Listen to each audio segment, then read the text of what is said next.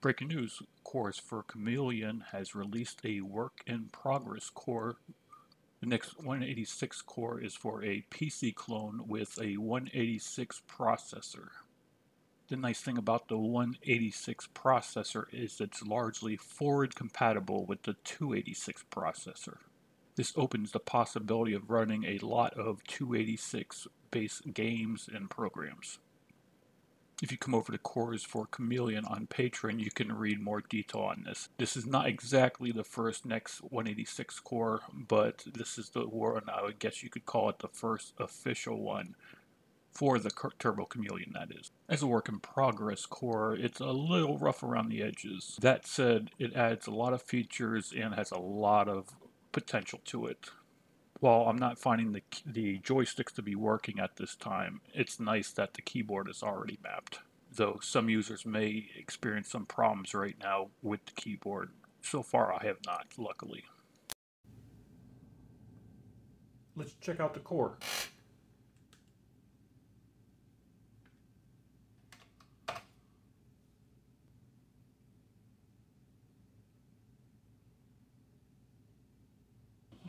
Have an on-screen menu.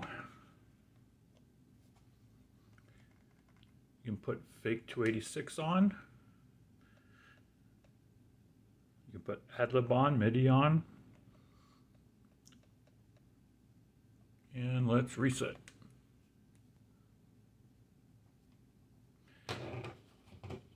Now you can see EMU 386 is loaded that can help you play some 386 version games and other software.